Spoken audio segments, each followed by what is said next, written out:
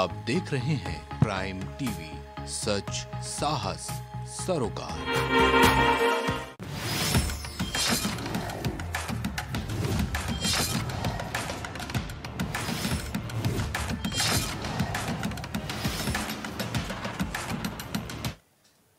नमस्कार, मैं हूँ मुस्कान अजमानी और आप देख रहे हैं प्राइम टीवी। हमारी खास पेशकश नगर संग्राम में आप सभी का स्वागत है। जिस तरह हांडी का एक चावल ही पूरी हांडी का हाल बयां करने के लिए बहुत माना जाता है, ठीक उसी तरह है निकाय चुनाव। आगामी लोकसभा चुनाव नज़दीक है, ऐसे में निकाय चुनाव के नतीजे कहीं ना कहीं क्या जनता का मूड है? जनता का रुझान किस पार्टी की तरफ़ ज़्यादा है? जनता किस पार्टी की तरफ़ ज़्यादा झुकाव है? जनता का ये माना जाता है। और उसी निकाय चुनाव को लेकर तमाम राजनीतिक पार्टियाँ भी अब अपनी ज़ोर आजमाइश दिखाने में लगी हुई हैं। तो जहाँ एक तरफ़ लखनऊ में चार मई को निकाय चुनाव है तो ऐसे में तमाम पार्टियों के जो सभी दिग्गज नेता हैं, जो मेयर पद के प्रत्याशी हैं, वो अब जनता के बीच पहुँच रहे हैं, जनता से समर्थन मांग रहे हैं और साथ ही साथ जनता के बीच ज़्यादा से ज़्यादा समय बिताकर वो जनता को अपने विश्वास में लाने का भी प्रयास कर रहे हैं, क्योंकि निकाय चुनाव की तारीखें अब काफ़ी नज़दीक है। बहुत ही जल्द लखनऊ में निकाय चुनाव होना है ऐसे में जो तमाम पार्टियाँ हैं, वो अब हर एक वार्ड में, हर एक एक तबके के जनता के बीच पहुँच रहे हैं ताकि जनता का ज़्यादा से ज़्यादा समर्थन उनको मिल सके। तो वहीं अगर लखनऊ नगर निगम की बात करें तो इस सीट पर 28 साल से भाजपा का कब्जा रहा है। तो ऐसे में अब ये तमाम विपक्षी दलों के लिए काफ़ी अहम हो जाता है कि इस चुनाव में वो जीत दर्ज करा के अपनी पार्टी को एक इतिहास में दर्ज करा दें।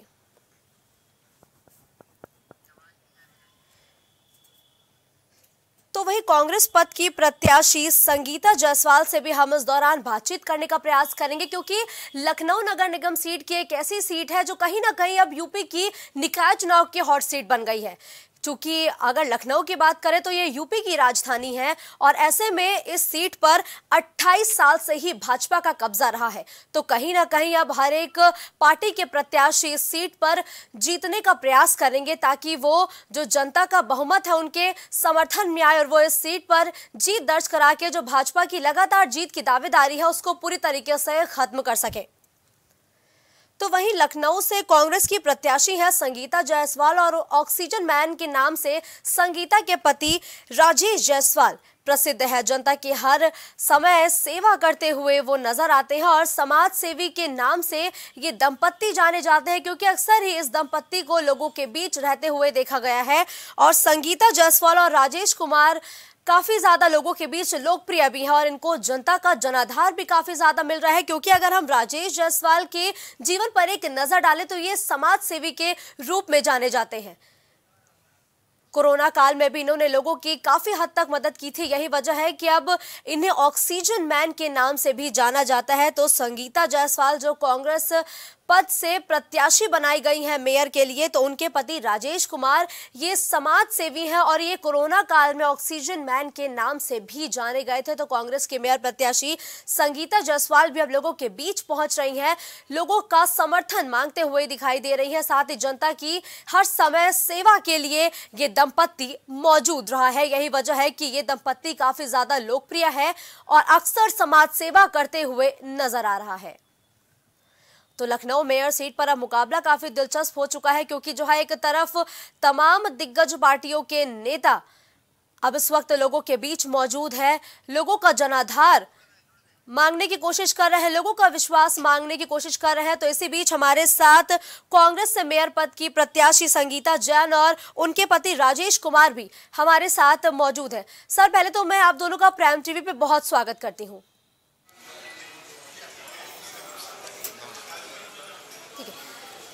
संगीता जायसवाल जी आप इस बार कांग्रेस की तरफ़ से अपनी दावेदारी पेश कर रही हैं और ऐसे में आप लोगों के बीच जा रही हैं लोगों से समर्थन भी मांग रही हैं तो किस तरीके से लोगों का साथ आपको मिल रहा है?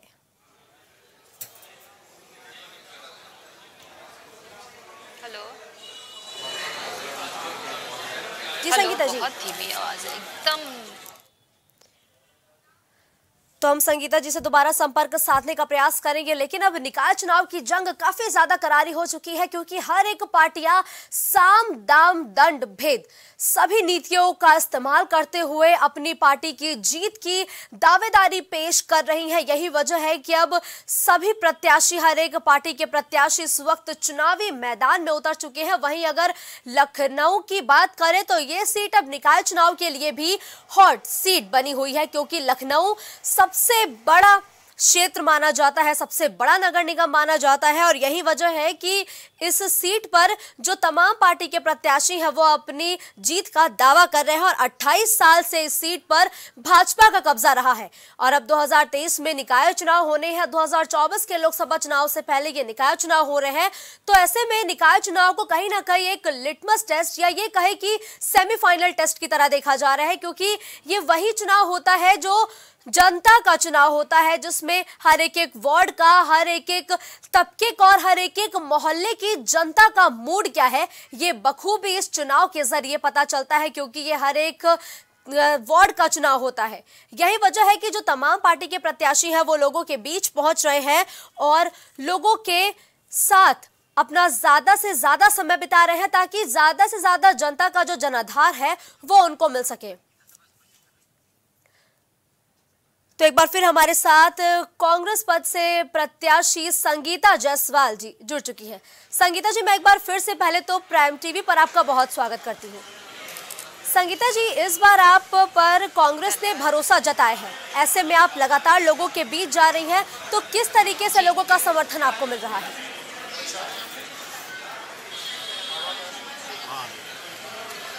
लोग हमें काफ़ी दिनों से जानते हैं। जी। और जानते हैं कि मैं किस तरह की महिला हूँ सोशल वर्क से जुड़ी रही हूँ, इसलिए उन्हें पूरा भरोसा है इस बार बाकी और जो लोग नहीं जानते उनको मैं बताना चाहूँगी कि हमारा सोशल वर्क हम काफ़ी सालों से करते रहे हैं। कोरोना टाइम में बहुत कोरोना टाइम में के बारे में, बल्कि मेरे हस्बैंड आपको बताएँगे बेहतर। क्या क्या हम लोग किस दौर से गुजरे हैं, किस तरह से हम लोग ने, आप बताइए।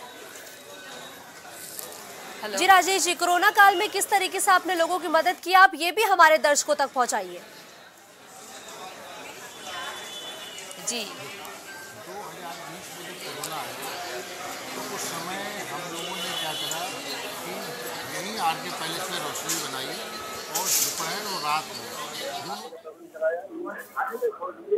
जो हमारे लखनऊ में जो खतनी है रामकली नाम से उसके भी लिए जब पता चला उसका कोई भोजन व्यवस्था नहीं हो पा रही है तो हम लोग उसके लिए भी पूरा करने की व्यवस्था से लेकर के सारी व्यवस्थाएँ मैंने करी। इसके साथ ही साथ जितना भी हमारे कलाकार हैं क्योंकि मैं कलाकार एसोसिएशन उत्तर प्रदेश का उपाध्यक्ष हूँ तो जितने भी कलाकार थे जिनको भी कोई प्रॉब्लम हुई तो मैंने सभी के लिए कर दिया कि छः महीने तक हम हर महीने सभी कलाकारों को तीन हज़ार रुपये देंगे। और साथ ही साथ जो भी सपेरे थे उनकी बस्ती में जा करके सेवा करना ये हम लोग ठीक है। संगीता जी जब मैं आपके बारे में पढ़ रही थी तो मैंने ये पढ़ा कि शायद ये आपका पहला चुनाव है और आप अभी तक हाउसवाइफ रही हैं तो अचानक से हाउसवाइफ से राजनीति में आना काफ़ी रोमांचक लग रहा है। बिल्कुल आपको लग रहा होगा लेकिन सोशल वर्क से जुड़े होने के कारण मुझे लगता है आम जनता तक पहुँचने में मुझे ज़्यादा आसानी होती है। और यही सब कुछ बातें बता रहे हैं कोरोना काल के दौरान कुछ ऐसी स्थिति पैदा हुई कि इस माहौल में मुझे लगा कि मैं ये सही समय है कि मैं भी इसमें कूद जाऊँ। ठीक है। संगीता जब 2023 के जो निकाय चुनाव है ये काफ़ी नज़दीक है। तो ऐसे में आप कौन कौन से मुद्दों को लेकर जनता के बीच पहुँच रही हैं? मेरा सबसे बड़ा इम्पोर्टेंट मुद्दा है ट्रैफ़िक जैम सैनिटेशन जो कूड़े का ढेर लगता चला जा रहा है। इस शहर में, इस शहर को तो आप ऐतिहासिक शहर के नाम से जानते हैं, इतना सुंदर शहर है, बाहर वाले लोग कहते हैं बहुत ही अच्छा है लखनऊ। लेकिन अब इसको हार्ट ऑफ़ द सिटी आएँगे, जो इसकी धड़कन है, जो पुराना लखनऊ, वहाँ आप देखें जगह जगह शहर मतलब लोगों के व्यापार जहाँ होता है, जहाँ रहते हैं, उस, उन जगहों पर बीचों बीच अगल बगल घर हैं और बीच में एक कूड़े घर का बड़ा सा वो तैयार कर रखा है ढेर जहाँ पे घरों से तो कूड़ा उठने लगा है। रेगुलर हो या इरेगुलर हो लेकिन वो पहुँचता उन्हीं आबादियों में उन्हीं लोगों के बीच में। ये तो सबसे बड़ा मुद्दा है। ट्रैफ़िक जैम आपका समय भी बर्बाद करता है आपकी फाइनेंसेस पे भी असर डालता है। ये ये भी एक बहुत बड़ा मुद्दा है। महिला सशक्तिकरण के लिए मैं ज़रूर बात करना चाहूँगी। मैं चाहती हूँ जब अब जैसे जैसे वार्ड में घूम रही वैसे लोगों का एक उम्मीद जग रही है कि मैम आप महिलाओं के लिए क्या कर सकती हैं? तो मैं उनसे उन्हें ये बताना चाहूँगी एक तो स्वरोजगार पे काम करना चाहूँगी मैं उनको, ताकि वो सीधे ग्रास रूट लेवल पे उनको जो सुविधा मिल सके, वो घर बैठे अपना काम कर सके, अपने बच्चों को संभाल सके, अपना घर संभाल सके। फिर आया पेयजल की समस्या बहुत हमने देखी है, और चूँकि मैं इस इन्हीं बस्तियों में रही हूँ, इन्हीं पुराने घर के पुराने, मेरा पेरेंटल हाउस इन्हीं गलियों में रहा है, पच्चीस साल हमने यहाँ गुजारे हैं। यहाँ की दिक्कतों का मैंने एकदम फेस टू फेस सामना हुआ है। वही बिजली वही पानी वही गंदगी सड़कें टूटी हुई कूड़ा ढेर लगा हुआ। ट्रैफ़िक जैम हमें बच्चों को स्कूल भेजना होता है या हमें खुद कहीं जान निकलना होता है तो एक टाइम लिमिट पहुँचने का 20-25 मिनट उसका डेढ़ गुना दो घंटा हमें निकाल एक लेकर तब निकलना पड़ता है। ठीक है। ये सब समस्याओं का निदान बहुत ज़रूरी है। ठीक है। संगीता जी, लखनऊ नगर निगम की सबसे बड़ी सीट है और कहीं ना कहीं ये हॉट सीट भी है और इस सीट पर 28 साल से भाजपा का कब्जा रहा है। लेकिन आप जब हर एक एक वार्ड में जाती हैं, लोगों से मिलती हैं तो क्या आपको लगता है कि लखनऊ में विकास हुआ है? लखनऊ में विकास होते होते जो जो विकास के नाम पर उन्होंने हमें जनता को धोखा दिया है। सत्तर साल से जो विकास कांग्रेस ने किया था, उसको उन्होंने, उसकी रफ्तार ही एकदम धीमी कर दी है। यहाँ अगर आप इधर बस्तियों में आए, पुराने शहर के बस्तियों में जिधर हम रहते हैं, उधर तो विकास के नाम पे आपको कुछ नहीं दिखेगा। वो आप जो नया विकसित लखनऊ देखेंगे वो ज़रूर शहरों को, बाहर वालों को दिखता है कि अरे लखनऊ तो बड़ा बढ़िया शहर है, यहाँ इतनी ये इमारतें बन गई ऐसा हो गया, वैसा हो गया है। लेकिन ये जो नींव जो नींव बिछाई थी इन्होंने, कांग्रेस ने, उस पर उन्होंने थोड़ा बहुत अपना, वो भी, भाजपा को तो मैं नहीं कहूँगी श्रेय दूँगी, लेकिन जो भी दूसरी पार्टियाँ आई, थोड़ी बहुत उन्होंने अपना काम किया और नए शहर को विकसित किया, लेकिन जो एक समग्र विकास लखनऊ का होना चाहिए था, वो तो बिल्कुल नहीं हुआ है। हम इस तरफ़ उतनी ही परेशानियाँ झेलते हैं जितना उन्होंने कभी देखा भी नहीं होगा। हमारे और भी जो प्रत्याशी हैं भाजपा से जो आई हैं वो कंटोनमेंट से रहकर कंटोनमेंट एरिया में रहती हैं दूसरी रहती हैं कहीं उधर गोमती नगर साइड में तो वहाँ पे उन्होंने वाटर लॉगिंग उन्होंने वहाँ पे उन्होंने गंदा पेयजल वहाँ पे उन्होंने ऐसी कोई समस्या का सामना नहीं किया। ट्रैफ़िक जैम हमको लगता है हम इधर ही देखते हैं उधर जाते हैं तो एक अरेंज वे में ट्रैफ़िक निकलने लगती है। बिल्कुल। लेकिन देर वहाँ भी होती है। इन सब का हाँ बिल्कुल वहाँ भी होती है, बहुत भयंकर जाम लगता है। लेकिन यहाँ का आप भयंकर जाम देखेंगे तो वो भी एकदम सर से परे है। वहाँ के लोग इधर आते हैं तो वो कहते हैं कि हम अपनी गाड़ी किनारे करके आते हैं कि हमको यहाँ सिटी जो कहते हैं शहर की धड़कन है वहाँ वो गाड़ी लेकर आ, आ नहीं पाते। हैं जब पुराने लखनऊ आप शहर की ही बात नहीं कर पाते हैं उनको नहीं दिखा पाते बाहर हम्म। वालों को क्या है ये लखनऊ शहर? इतना बढ़िया ऐतिहासिक शहर तो आप क्या दिखाना चाहते हैं? नया राजेश जी आप समाज सेवा से काफ़ी लंबे समय से जुड़े हैं। जी। जी राजेश आप समाज सेवा से काफ़ी लंबे समय से जुड़े हैं और आप ऑक्सीजन मैन के नाम से भी जाने गए हैं कोरोना काल में जिस तरीके से आपने लोगों की मदद की है। लेकिन अब 2023 का निकाय चुनाव है और आपके सामने तमाम बड़ी पार्टियाँ हैं। तो क्या ये आपको चुनौती लग रहा है ये चुनाव? मुझे कोई चुनौती नहीं लग रही है क्योंकि जो शख्स अभी मैं मानता हूँ आपने बताया कि 28 सालों से बीजेपी है। जी। लेकिन 28 सालों में हमारे लखनऊ का विकास क्या हुआ? आज मैंने जब मुझे दिसंबर के आसपास ये बोला गया कि आप मेयर के प्रत्याशी होने जा रहे हैं उस समय जब हमने अपनी होल्डिंग सब अपना बारे में बताया लोगों को लोगों को पता ही था पहले से ही तो आज अचानक हमारी पहले सीट चेंज करी जाती है। उसके बाद एक डमी कैंडिडेट को खड़ा कर दिया जाता है। क्योंकि उनको पता है यहाँ के लोगों को कि इस बार किसी भी हालत में बीजेपी हम लोग जीत नहीं पाएँगे बीजेपी जीत नहीं पाएगी। इसीलिए उन्होंने एक डमी कैंडिडेट को ला करके उत्तराखंड से खड़ा कर दिया। वो अपना चुनाव अपने प्रत्याशी से आंकड़ों पर आंकड़ों पर लड़ा रहे हैं। एक आम आदमी जो 2022 के बाद से 2020 से एक इस कोरोना के टाइम से ऐसा आगे हो गया लखनऊ में कि लोग सिर्फ़ राजेश के अलावा या संगीता जायसवाल के अलावा किसी को याद ही नहीं करता हैं जानने ही नहीं चाहते हैं। मैं आपको एक चीज़ और बता दूँ। जी। अभी हमने थोड़ी देर पहले आपको 2020 की बात बताई। अब मैं आपको 2021 की बात बताऊँगा। जी। 2021 में आपको याद होगा अप्रैल में कोरोना आया था और आपका एक छोटा सा प्लांट ऑक्सीजन प्लांट है। उस प्लांट पे हम डीएम से सिलेंडर सप्लाई हो रहा था क्योंकि बहुत पुराना प्लांट हमारा और सबसे बड़ा प्लांट आप ही का है। मैं उस समय सत्ताईस सौ सिलेंडर पर डे बना रहा था। मैंने बिना किसी सोचे समझे गरीबों के लिए अलग कर दिया, अस्पतालों को अलग कर दिया, हर एक के लिए अलग हो के सबकी व्यवस्था कर दी। और एक चीज़, मैं कभी भी फैक्ट्री नहीं जाता हूँ, सिर्फ़ दिवाली और होली में जाता हूँ, लेकिन मेरा और मैं और मेरा परिवार, चाहे मेरे बच्चे हों, मेरे भाई हों तो हम लोग जॉइंट फैमिली से हैं। सभी ने फैक्ट्री में बैठ गए और ये वो हर शख्स तीन घंटे सोएगा। लेकिन उसका मुझे मिला क्या? इन्होंने हमारे जब इनको लगा कहीं पर गैस नहीं मिल रही है तो इन्होंने हमारे टैंकर छीनना शुरू कर दिए और सा, सारे टैंकर टैंकर ही नहीं इन्होंने मेरे टैंकर को छीनने के साथ साथ उनको चल, चालू करने के लिए हमारे बेटे को तीन महीने तक किडनेप करके रखा। तीन दिन। तीन दिन तक। तीन दिन के बाद जब बहुत आप लोगों ने पेपर में मीडिया में निकाला उसके बाद इन्होंने ज़बरदस्ती मेरे बेटे को फैक्ट्री में आके छोड़ के चले गए। मैं इनसे यह जानना चाहता हूँ कि क्या किसी की सेवा करना क्या किसी की सेवा करना गलत बात है? और यहीं पे ये नहीं रुके। इन्होंने तो यहाँ तक हद कर दिया कि फैक्ट्री से हमारे टैंकर तो ले गए बेटे को ले गए। जब मीडिया में वो सब कुछ छोड़ के चले गए बेटे को मेरे फिर क्या हुआ? मैंने फिर उसके बाद इन्होंने मैंने क्या करा इन सब के अगेंस्ट हाई कोर्ट चला गया। ठीक है। और आज भी मेरा केस चल रहा है। वहीं से हमारी राजनीति की शुरुआत हुई है। हम लोगों ने प्रण कर लिया था कि अब हम कोई भी चुनाव ऐसा नहीं होगा जो नहीं लड़ेंगे इनके अगेंस्ट में। जब तक हम इनको इस देश से बाहर नहीं कर देंगे, हम चैन से नहीं बैठेंगे। जब एक आम आदमी ये सोच लेता है तो मुझे लगता है सब कुछ उसको हासिल मिलेगा ज़रूर यदि हमने कर्म करे हैं। यदि हमारे कर्म अच्छे हैं तो हमें पता है कि ईश्वर हमारे साथ में है और शायद इसीलिए लोग इतना डर चुके हैं कि ये भागे भागे फिर रहे हैं।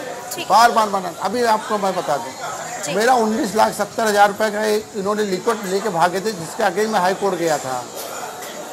इन्होंने मेरे पास प्रेशर बनाया मेरे पास कुछ लोगों को भेजा कि भाई समझौता कर लो अब मैं आपको उन्नीस सत्तर का दूना दूँगा। मैंने कहा नहीं आप एक काम करो जो आपकी वजह से हमारी फैक्ट्री में पाँच हज़ार लोग मरे हैं उसका कौन हिसाब देगा?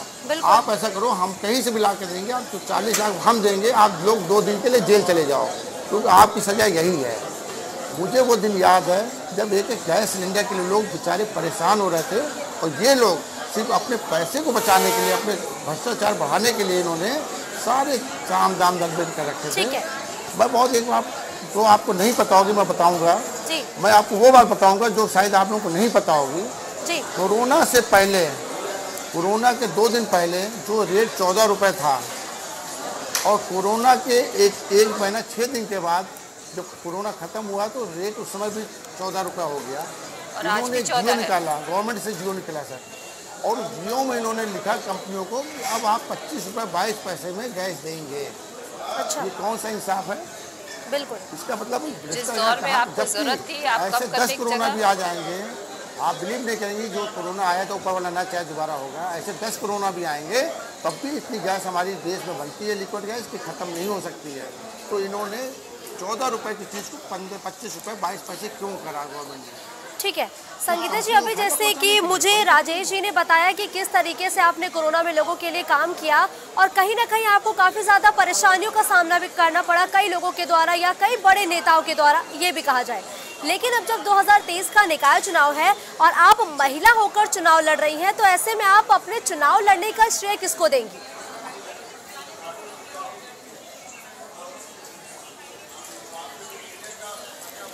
श्रेय किसको दूँगी? जी श्रेय हमारे वक्त ज़ाहिर सी बात है हम लोग मिलकर बहुत दोनों ने काम किया है लेकिन चूँकि ये हमेशा लाइमलाइट में हमेशा आगे रहे हैं श्रेय इनको जाता है। ये महिला सीट होने की वजह से मैंने कहा नहीं मैं आगे बढ़ूँगी मुझे आप बिठाइए मैं आपका आपकी जगह लूँगी। बिल्कुल। संगीता जी श्रेय तो आपने पति को दे दिया लेकिन जब आप राजनीति में आई तो आपका रोल मॉडल कौन था? जी। प्रियंका गांधी। प्रियंका मैंने उनको भी देखा है जूझते हुए। जी जिस तरीके से जब आपने प्रियंका गांधी को जूझते हुए देखा कि वो लगातार लड़कियों के लिए लड़ रही हैं समाज के हर तबके के लिए लड़ रही हूँ, लड़ सकती हूँ। बिल्कुल जी। तो किस तरीके से प्रियंका गांधी वाड्रा ने आपको प्रेरित किया? या क्या कुछ बात उनकी आपको इतनी ज़्यादा पसंद आई कि आप फिर कांग्रेस में शामिल हो गई?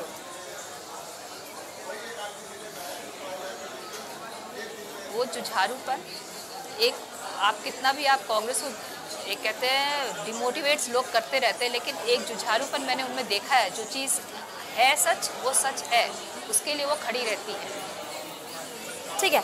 राजेश अभी आपने एक अपनी लंबी कहानी का ज़िक्र किया और हम सबको बताया किस तरीके से जब आपने लोगों की मदद करनी चाहिए तो कहीं ना कहीं आपको रोका गया आपको पीछे खींचा गया। तो क्या इससे आपके साथ जो वाक्य हुआ क्या इसने आपको इतना मोटिवेट किया कि आपने ये सोचा कि आप राजनीति में आकर कुछ करेंगे ताकि लोग परेशान ना हो? राजनीति में आना चाह रहा था, लेकिन दिमाग में ये भी था कि मैं बासापा या सापा जैसी राजनीति नहीं करना मुझे। लेकिन जब मुझे राहुल जी की ये भारत जोड़ो आंदोलन की बात पता चली तो मैंने ये कहा कि शायद मुझे शामिल होना चाहिए तो मैं अपने आप शामिल हुआ उसमें। और पता नहीं कैसे प्रियंका जी की, राहुल जी की हमारे ऊपर निगाह पड़ी है, जैसे भी उनके लोगों ने जानकारी मिली होगी, उन्होंने मुझे शायद ये बोल दिया कि भाई आपको मैं मेयर लड़ाना चाहता हूँ। मैं कोई राजनीतिक नहीं था लेकिन यदि उन्होंने इस तरह की बात बोली तो मुझे बड़ी खुशी मिली मैंने तुरंत हामी भरी और मुझे बहुत खुशी मिल रही थी कि इस तरह से एक राष्ट्रीय पार्टी इतनी अच्छी पार्टी हमको इस तरह के मेरे के लिए ऑफ़र कर रही है। मुझे तो बहुत खुशी मिली और मुझे लगा अब अब हम अब तो हमारे लिए मौका है जो हम एक अपने पर्सनल लेवल पे करते थे वो हम एक बहुत समय गवर्नमेंट जो भी सत्ता में वो काम कर रही है। मुझे किसी भी हालत में इसको ख़त्म करना है समाप्त करना है इसके लिए जाए मुझे कहीं पर भी मेरा सब कुछ बेचना पड़े मैं बेच करके भी इसको समाप्त करने काम ठीक है। संगीता जायसवाल जी आपका मुकाबला एक ऐसी पार्टी से है जिसका 28 साल से सीट पर दबदबा रहा है। तो क्या आपको कोई मुश्किल लग रही है? या आपको क्या लग रहा है कि क्या क्या चुनौतियाँ आपके रास्ते में आएँगी इस दौरान? उन्होंने चुनौतियाँ हमारे लिए छोड़ दी है। छोड़ के हमारे लिए एग्जाम्पल्स एक स्मार्ट सिटी का सामने दे दिया है, जिसको कि जनता साफ़ नकार रही है कि स्मार्ट सिटी के नाम पे कुछ भी नहीं है यहाँ पे। वही ट्रैफ़िक जैम्स वही सड़कें एकदम टूटी फूटी जो कहते हैं ना, सड़कों में गड्ढा मुक्त सड़कें हम देंगे, गड्ढों में हम सड़क ढूंढते हुए आगे निकलते हैं। तो हमारे लिए चुनौती वो नहीं है। हम उनके लिए चुनौती बन रहे हैं, क्योंकि अब हम काम करने की इच्छा से आगे आगे आगे आ रहे हैं और लोग जानते हैं हमें कि हम लोग कितने आगे बढ़ के लोगों की सहयोग में लोगों को सहयोग करते हैं। इसलिए ये उनके लिए चुनौती बन रही है। ठीक है राजेश जी लगातार ज़ाहिर सी बात है कि आप भी जो आप अपनी वाइफ के साथ अक्सर मौजूद रहते होंगे जब वो प्रचार में जाती होंगी जब वो लोगों के बीच समर्थन मांगती होंगी तो आपको किस हद तक लोगों का समर्थन मिल रहा है? या जब लोगों को पता चल रहा है कि आप चुनावी मैदान में उतरे हैं तो लोग किस हद तक खुश हैं? वो कितना भरोसा जता रहे हैं आपको? देखिए वो इतना इतना ज़्यादा उत्साहित हो गए हैं कि जहाँ भी जाते हैं ही नाम होता है, अरे वो ऑक्सीजन मैन आ गया तो वो एक ऑक्सीजन नाम, ऑक्सीजन मैन का नाम सुन करके अपने आप लगता है, चलिए एक पहचान हमने जो भी करा है, जितनी भी मेहनत करी है लेकिन एक पहचान लखनऊ वासियों ने मुझे दिया और लखनऊ वासियों ने नहीं। मैं तो अभी मुझे लगता है, कई आसपास के ज़िलों से फ़ोन आता है, भैया, वो आप वही ऑक्सीजन मैन है? मैं कहता हूँ हाँ मैं वही ऑक्सीजन मैन हूँ, जो वाइफ चुनाव लड़ रही हैं। बहुत खुशी मिलती है? हमने तो लोगों के दिलों को छुआ है। कंपटीशन है ही नहीं। क्योंकि कहीं भी जाते अपने आप लोग कहते हैं साहब भाई साहब मेरे पास आइए भाई साहब मेरे एरिए में आइए। तो बहुत खुशी मिल और वो जानते हैं कि हम आगे हैं हम उनके साथ खड़े हैं। यही कहेंगे कि यदि इसी तरह से इस बार जनता ने सपोर्ट करा तो बहुत कुछ चेंज होने जा रहा है। आप तेरह मई को देखिएगा इस लखनऊ में क्या चेंज देखेंगे आप? ठीक है संगीता जी, अगर आपको जनता का पूरा समर्थन मिलता है और अगर आप एक प्रचंड बहुमत के साथ जीती है तो वो पहले प्रमुख काम कौन से होंगे जो आप सबसे पहले कराएँगे? सबसे पहले शहर को ट्रैफ़िक जैम से निजात दिलाना, साफ़ सफ़ाई का ध्यान रखना। एक बार ये लाइन में आ जाते हैं तो फिर धीरे धीरे चीज़ें अपने आप लाइन में आने लगती हैं। समय आपका बचता है, समय से आगे कार्य ज़्यादा होता है सड़कें सही होने से आपका काम प्रगति पे हो जाता है। महिला सशक्तिकरण पे काम करने के लिए हमने जो बीड़ा उठाया वो भी हमारी प्रायोरिटी है। ठीक है संगीता जी अभी जैसा आपने ज़िक्र किया कि आप महिला सशक्तिकरण के लिए जो बीड़ा उठा चुकी हैं। महिलाओं के लिए काम करेंगी। तो महिलाओं के लिए आपकी रणनीति क्या है? महिलाओं के लिए आप किस तरीके से काम करेंगे? क्योंकि आज भी अक्सर मामले ऐसे सामने आते हैं, जिसमें हमने देखा है महिलाओं के साथ चोरी हो जाती है, महिलाएँ सुरक्षित नहीं है, कहीं ना कहीं भी बलात्कार के मामले यूपी में बरकरार है। बिल्कुल, महिला सुरक्षा तो बहुत बड़ा बहुत बड़ा मुद्दा है। उस पर तो काम करना बहुत ज़रूरी है। दूसरा, उनको खुद स्वरोजगार देना उनको अपने पैर पे खड़ा करना उनको शिक्षित करना। और ये हम तभी से कर सकते जब स्कूल में बच्चे होते हैं स्कूल टाइम पे। तो उनको उस स्वरोजगार के लिए शिक्षित किया जाना चाहिए ताकि वो धीरे धीरे जैसे ही ट्वेल्थ पास करते हैं या हाई स्कूल पास करते हैं तो उनके वो खुद इतने सक्षम हो जाते हैं कि अपना कुछ ना कुछ काम धीरे धीरे शुरू कर सकते हैं। वही आत्म आपको आत्मनिर्भरता देता है। ठीक है। एक बार एक घर की किसी औरत में आत्मनिर्भरता आने का मतलब घर का पूरा बच्चे भी शिक्षित हो जाते हैं। आपका आपका आगे का आपका भविष्य संवरने लगता है। ठीक है। राजेश जी, बतौर समाज सेवी जब आप काम कर रहे थे और जब आप लोगों के बीच जा रहे थे और कहीं ना कहीं लखनऊ ऐसी जगह है जहाँ पर आप बड़े हुए हैं, हम हर एक अच्छा बुरा वक्त आपने इस लखनऊ में बिताया है। लेकिन जब आप उस लखनऊ की इस हालत को देखते हैं कि सड़कें टूटी हुई हैं, कूड़े का ढेर लगा हुआ है, लोग आज भी परेशान है, उनका काम नहीं हो पा रहा है तो आपको क्या महसूस होता है? और आप जनता को कैसे भरोसा दिला रहे हैं कि आप उनके पक्ष में हैं?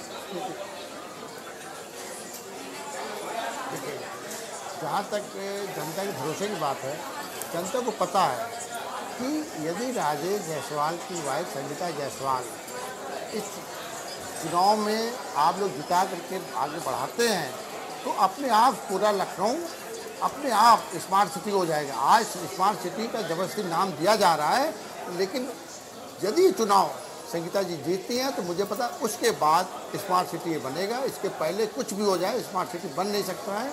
क्योंकि जनता को विश्वास है और पूरी तरह से जनता तैयार बैठी है कि अभी चार मई को जो चुनाव वोट पड़ने जा रहे हैं, पूरी तरह से तैयार बैठी है कि वो पूरा का पूरा वोट एक तरह तरफ़ से सिर्फ़ और सिर्फ़ कांग्रेस को डाले। ठीक है, संगीता जी, ये तो राजेश जी ने बताया कि वो किस तरीके से जनता का भरोसा जीत रहे हैं, लेकिन अब मैं आपसे भी जानना चाहूँगी, क्योंकि आप बतौर प्रत्याशी मैदान में उतरी है और अभी भी लोगों का यही माइंडसेट है, लोग यही सोचते हैं कि अरे, ये तो जीत गए हैं, उसके बाद तो हमारा काम होगा नहीं, हमारे क्षेत्र में आएँगे नहीं। तो अब आप ऐसे में जनता को, महिलाओं को और बूढ़ों को कैसे भरोसा दिला रही है कि नहीं, आप वाकई में जनता के लिए चुनावी मैदान में हैं? उसके लिए जनता को एक बार भरोसा करना ही पड़ेगा। मैं वादे तो नहीं करती हूँ, जैसे और बाकी लोग करते हैं, क्योंकि ना मैं उतनी ज़्यादा बढ़िया लच्छेदार बातें आपको बता पाऊँगी, ना लच्छेदार बातों में आपको घुमा फिरा पाऊँगी। लेकिन हाँ इतना भरोसा दे सकती हूँ कि सच्ची लगन और सच्ची हम लोग मेहनत करने वाले लोग हैं।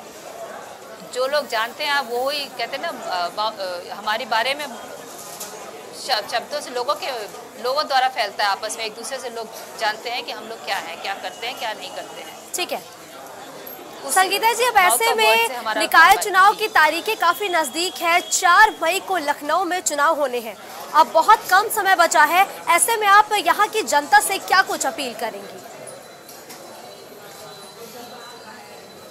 मैं अपनी माताओं बहनों इन सभी से ज़रूर ये कहना चाहूँगी कि आप ही परिवार की स्तंभ हैं। और यही स्तंभ जब मज़बूत होता है तो परिवार मज़बूत होता है। परिवार आप अपना मज़बूत करिए। हम, आप हमको तैयार आप एक मत होकर आगे आइए, बढ़िए। कांग्रेस को वोट दीजिए, पंजे पे निशान लगाइए। हमको बहुमत से जिताइए। हम आपके लिए खड़े हैं। हम आपके बिल्कुल आपके सहयोग के लिए आगे आएँगे।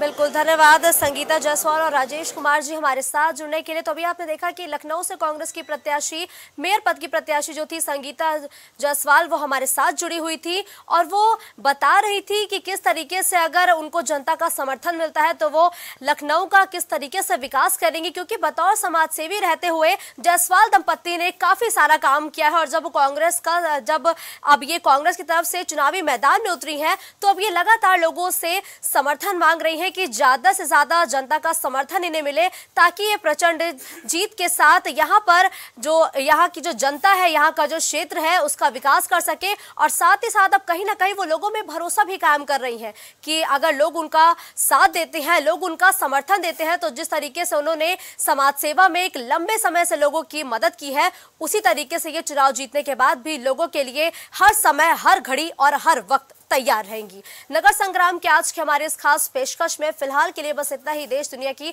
तमाम बड़ी खबरों के लिए आप देखते रहिए प्राइम टीवी।